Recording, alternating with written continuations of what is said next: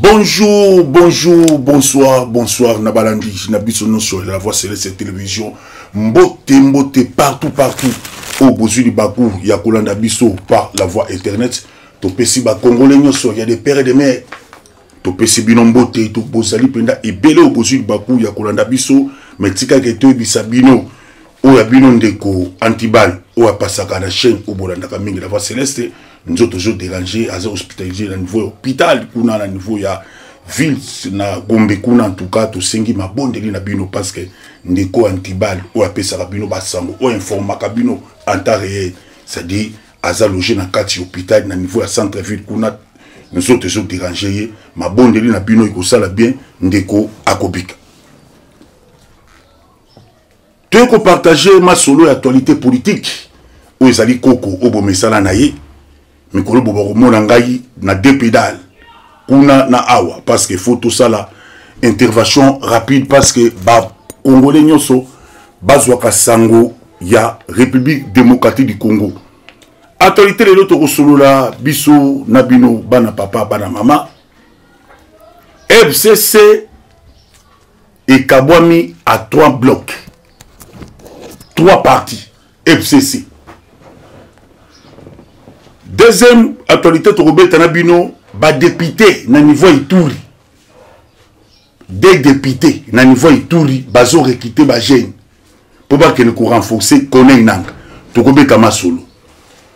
troisième sujet tokosolola basolo etali détermination ya wazalendo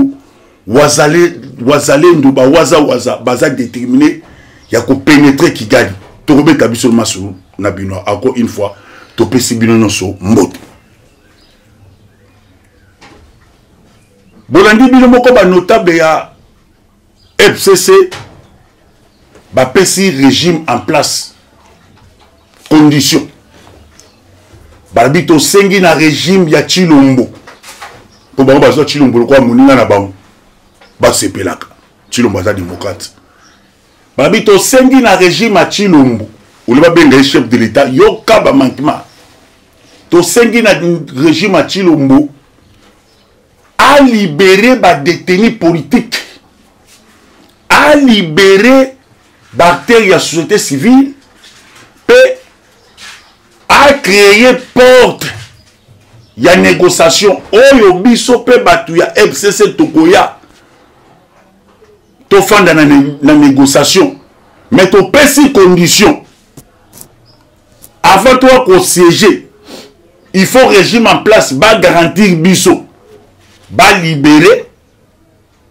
ba, de, ba homme politique ba détenu ba libérer ba acteur société civile pe ba tika ko komisa batu ba exilé politique na régime na bango et condition na biso mususu ezali na kati ya ba 6 ya négociation tosengi 3 postes ministère ya défense wana fcc ministère ya défense ministère ya intérieur na ministère ya affaires étrangères sikoyo bino boza bakongole fcc oyo bazalaki na bato ya komandema pendant 18 ans na mboka oyo défense ezalaka ya bango me bazoboma bato na niveau ya este interieur ezalaka ya bango bazoboma bato na niveau ya est faire étranger bapesaki diplomatie na barwandais bazosala bakoki kosala siko balobi soki régime en place erespecte yango te bango bakoutilize article 64 koto masolo ebandi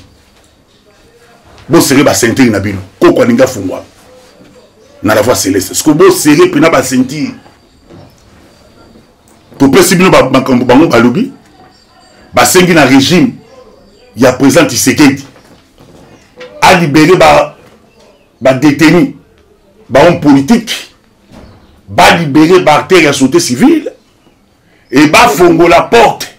ya négociation et deuxième condition bapesi na kati ya masolo bakosala babi lokola bango baza na bayebi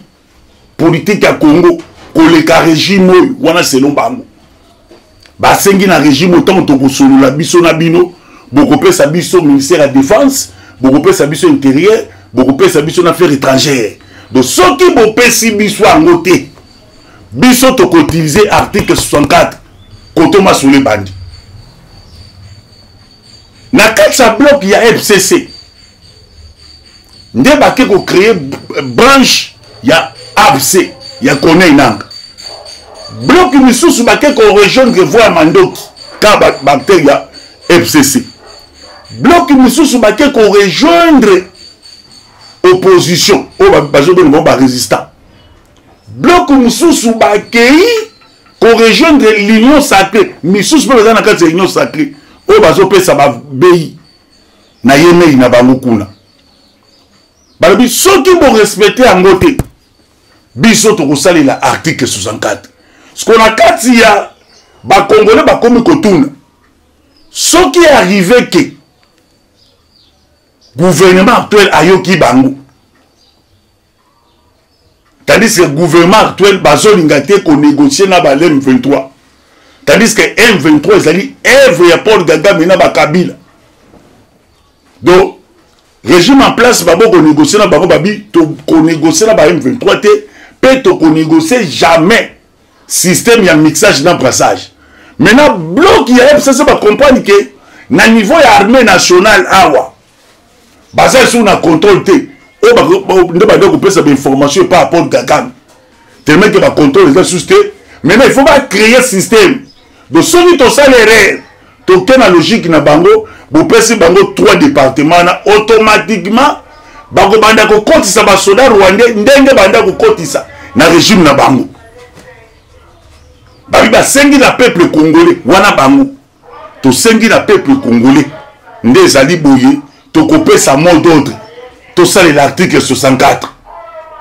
wana bango babi moto azokanga wana nde article elobi nde bango batangi balimboli babi moto akangi pouvoir na maboko oyo abotoli na makasi sikoyo totuni motuna pouvoir ya tisekedi asimbaki mandoki to asimbaki te bino nde bokopesa eyano na kati ya logique ya république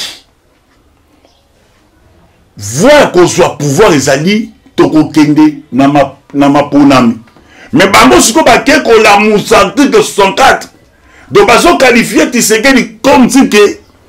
donc azwi pouvoir na makasi neti d'avoir mandoki nde bango babimi tokoutilize article 64 soki régime en place baboyi korespecte makambo na biso kuna boyoki bamisere ya corneille nanga bakendaki koparticipe na basise oyo esalamaki na niveau ya kigali oyo paul gagame abengisaki baofficier militaire nyonso ya rwanda ayebisi bango citation toza nango na kati ya na congo république démocratique du congo akomo appuye na les états-unis d'amérique e biso lokola toza bapeuple moko minotique toke na voie ya konegocie na niveau ya communauté internationale la communauté internationale azopesa biso condition tobimisa d'abord basoda na biso oyo baza na niveau ya république démocratique du congo e biso mpe tokoki kobimisa bango te parce que toyebi baje tosalaka na kati ya congo lokola toza susu na banteni te oyo ya communication na niveau armée congolaise c'est-à-dire il faut batroupe na biso bazala nde bomonaki ntina oyo efardc amatisaki bibundeli yaya bobatisa bibundeli soki mpe kotake bunagana botake bunagana eza soki makambo te ya kozela oyo bacor parce que bato oyo déjà baza na makanisi mabe to na ndenge bakabwani wana bamisusu bakomi na kokondane martin fayulu ande ah, eza boye martin fayulu si bapropose eloko mpe atisekedi lokola fayulu abaki no tokoya tosolola na bakongole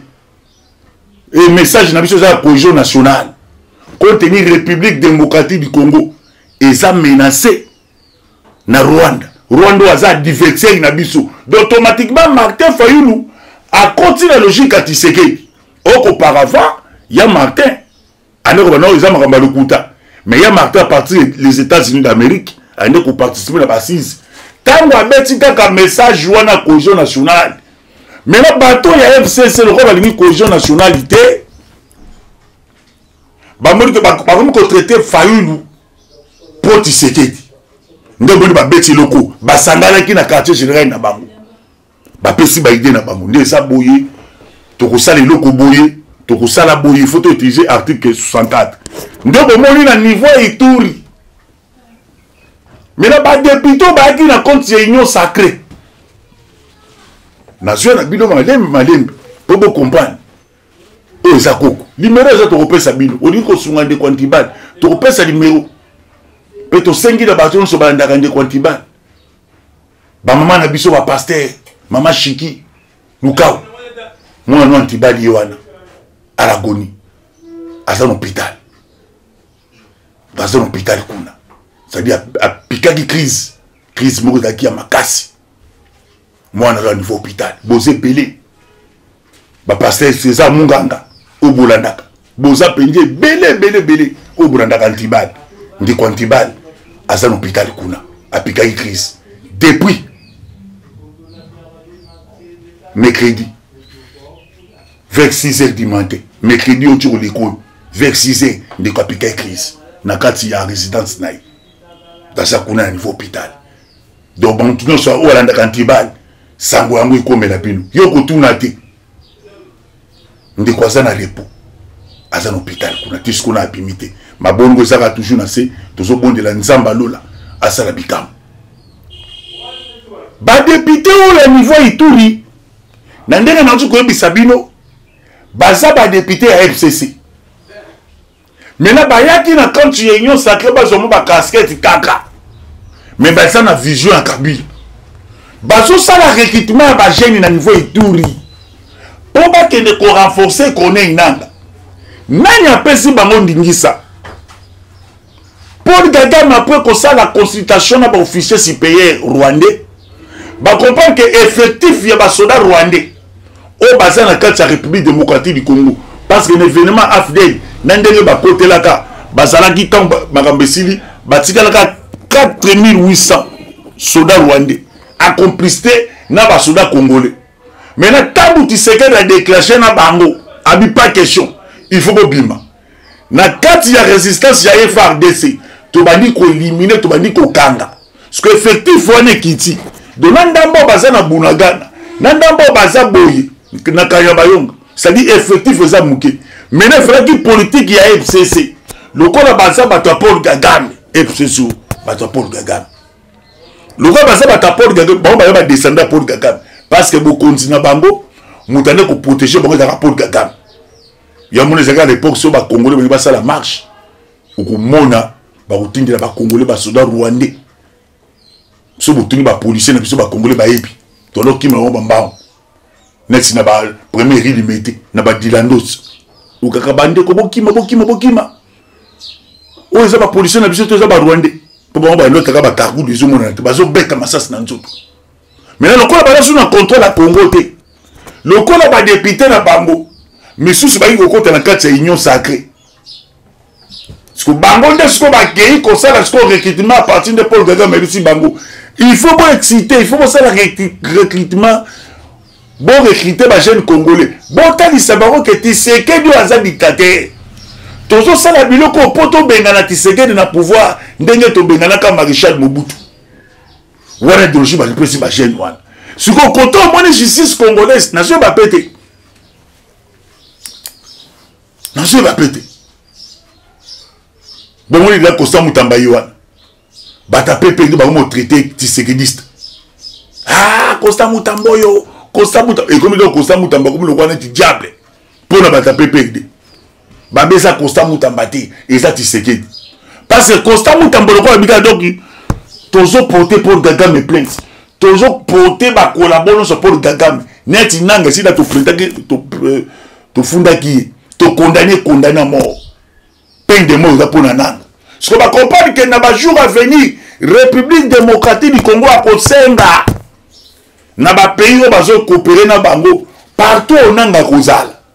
bakotindela biso kona enanga sikoyo bake na politike sadi ya gani do topanzana kaka recrutement ebandi na kati ya recrutement bandi mpe korecrute bajeune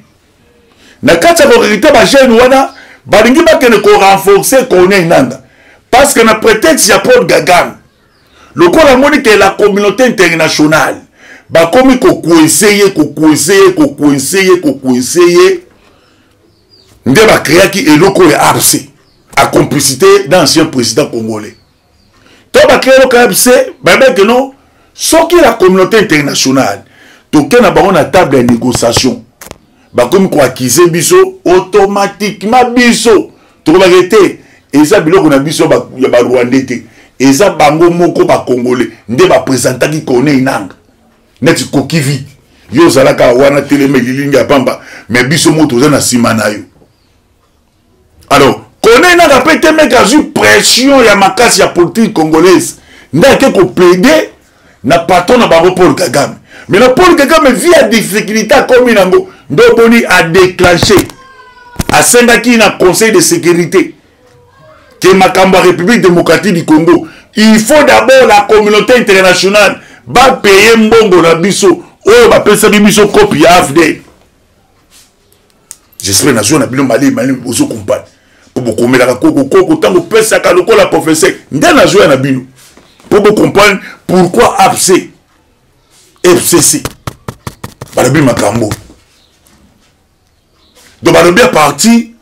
paul kagame acomprendre ke vie ya politike oyo tisekedi amemeli bango na vie ya politike ndenge ayoki euh, gouvernement tanzanien bapesi paul kagame condition ke il faut retire basoda na yo nyonso na sol congolaise ntango bomoni tanzanie alobi eza tanzanie te eza les états-unis nde balobi d'états-unis acomprendre ke soki napesi république démocratique du congo accès atake kigali lokola république démocratique du congo azana na kanda ya kigali ekoriske donc président esalama kuna parce que ozala na ba donc eza na biloko mosusu tozala na kati ya motu na biso bacongolais ya vagence ekoriske basoda congolais bavange mabadundala bavange general bauma bavange mbunza mabe bavange baza ebele ebele ebele nde bomonaki bake kokanga na médecin ah kongo oyo kongo oyo médecin congolais do ye atraitaka euh, en tout cas bonayebi te yango tokosenga na costa mutamba kobanga eloko te telemaka na position wana oza descende ya mfumu kimbangu moto mpe aintimide yo te moto aintimide yo te donc moto asali mabe elongola ye olongoli okangi moto aintimide yo te parce que ndenge tozokendelela de rwanda comprendre ke na kati ya basise oyo meme ata ya lwanda aza perdant maintenant nakosala ndenge nini maintenant il faut nakende korenforce afc oyo maintenant afc fo kokabwa na 3 bloc bloc oyo basimbi minduki ya fcc bloc oyo mosusu batikali baopposant bloc mosusu bake kointegre union sacré nde bomoni badepute oyo badepute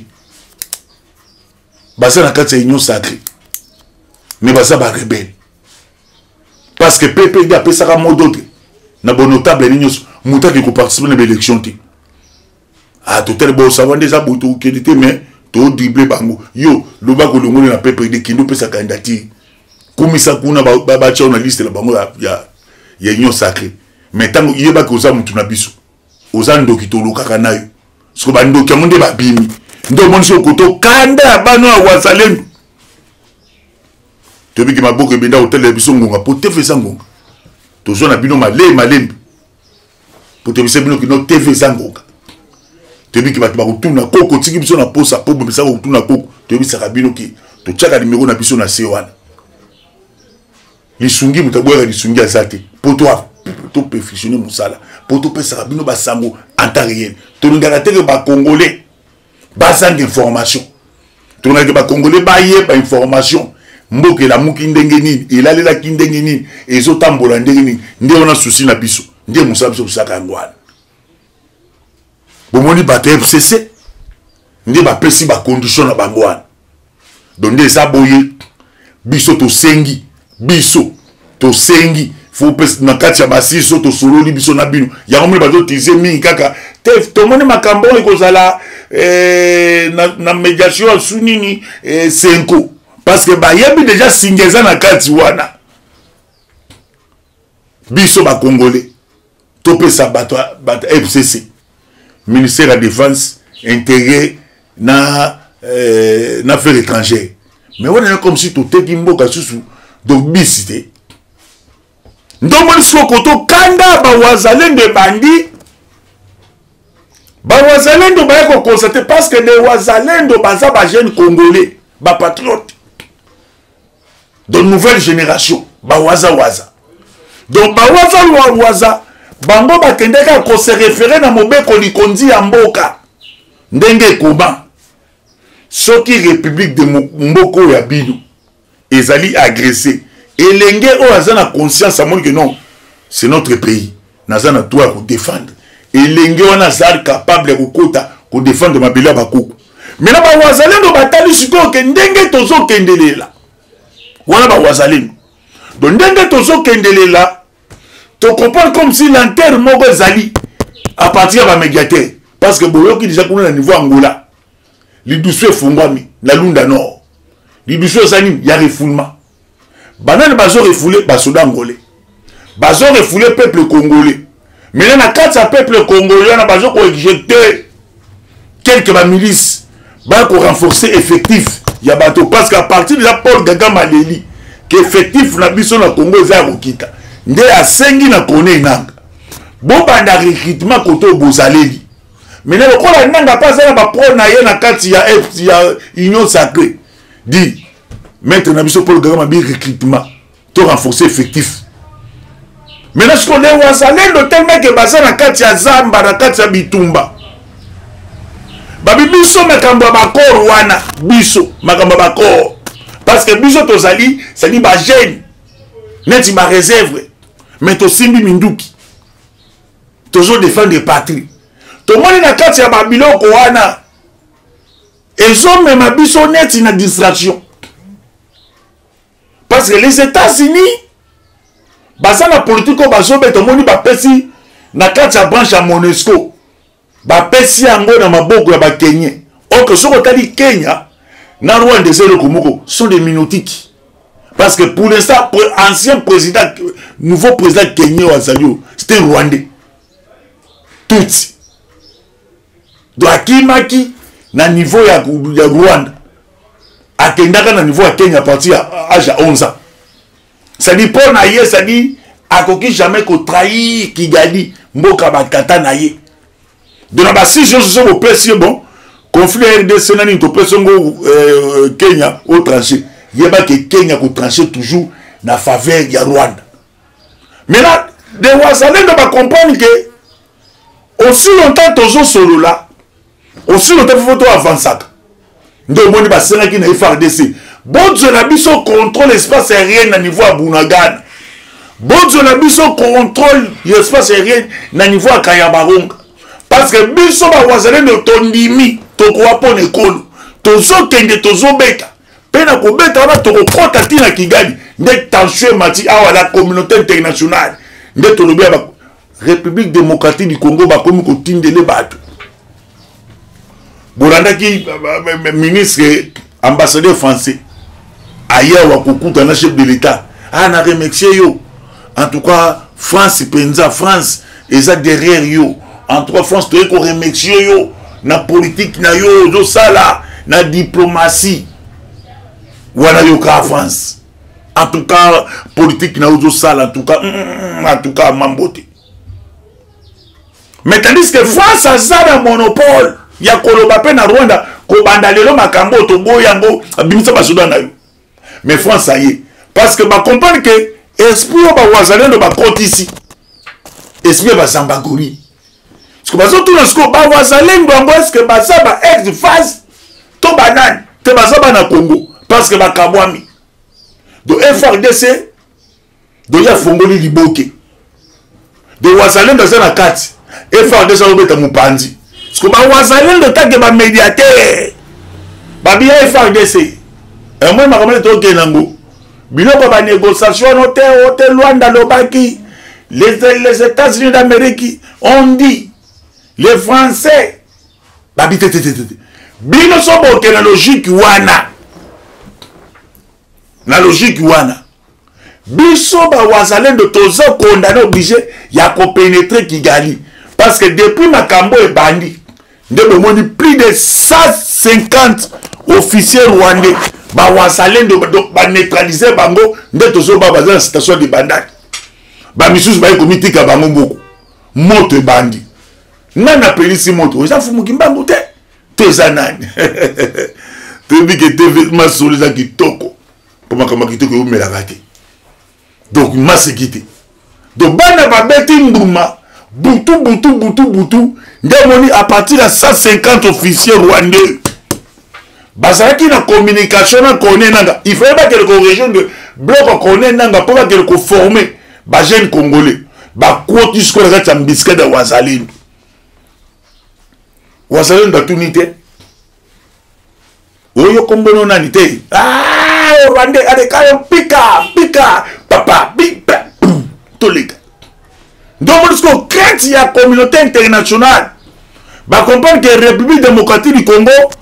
azotravaille face a na face b c'est-à-dire face a ezali géré na maboko ya frdc azocontrôle espace nyonso maintenant face b il faut tokotisa ba ad ba ad na biso wana bango nde batito bareserve wana bena bango nde bazokɔta sikoyo na ballon na milieu bazokabola papa papa crainte ya la communauté internationale nde basengi lorenzo lokola topesi autorisation na tanzanie tanzanie a hésité te akanga bafrontière na ye na rwanda mais pourquoi pas biso biso nde toza agressé soki république démocratique du congo alingi aferme bafrontière na ye na kigali okomona la communauté internationale bakoya kosala boye te yo oza mokolo ata babeti yo mbata kolela te yo oza koko ye aza mwana na yo mais tandiske mpe koko azooka mpasi tata azooka mpasi nde omonisi kokoto crainte eza yango wana mina na communauté internationale balingi bafongola sikoyo porte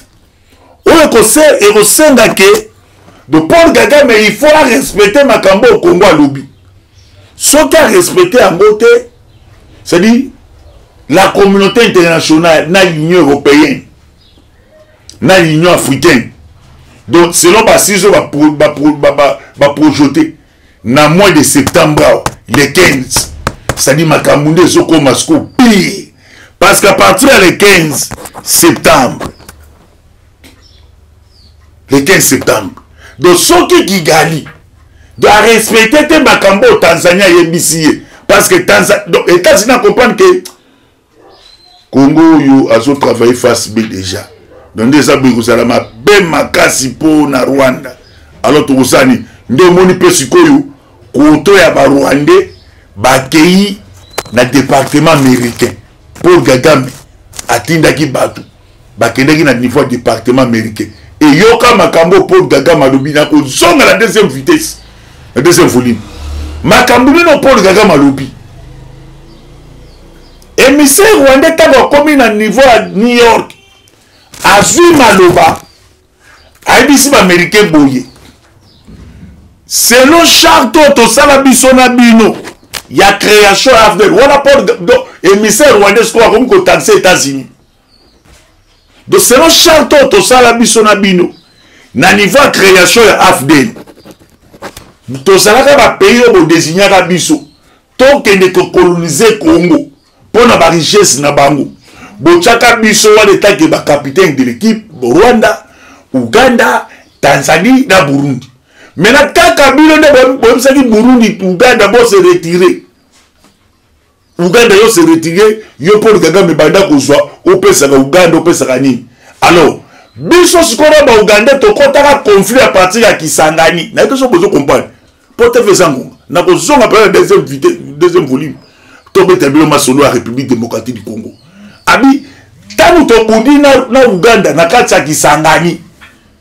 donc bino nde na communauté internationale bosengaki biso ceci le fait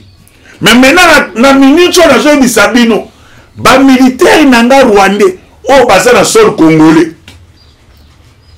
donc bakomi na insécurité mpe insécurité yango eye kokontamine na bapro na nga bapro yango nde banani bananga ntango bazotanga nkomba nanga eza nani parce que paul kagame asali politique bacreye avc wana soki arrive ke na kati ya table ya négociation bango barwandais bakose retire maintenant afc akotikala kosala continuité ya, ya, ya m23 balobaka te eza bango na bango bakongole nde bazowelela pouvoir eza biso te parce que afc eza na idéologie ya, ya m23 le m23 eza na, eza na idéologie ya, ya, ya afd parce que source na bango nyonso ezali afd siko na kati ya source ya fidel wana lokola fidel ekufa ndenge eyaka kokoma pprd mais na vie ke politique ezokende nde ekoma lelo fcc mais na fcc acomprendre ke ndenge politique ekende lili il faut na créer abc abc wana ezala géré par biso mais na lokola chef de l'état congolais abake non nde bozomona euh, nanga wana koki vide c'est-à-dire patron na bango se kabila ntango bazotanga kabila automatiquement c'est paul kagame tokozonga nsima mpo tobeta masolo ya république démocratique du congo mpo tv eza ngonga nayebi ke natiki bino na posa makasi mpo bosapela ah, koko atiki biso na posa nakozonga na deuxième volume boza toujours scotché branché na chaîne na bino bolingaka mingi lava céleste télévision plus 243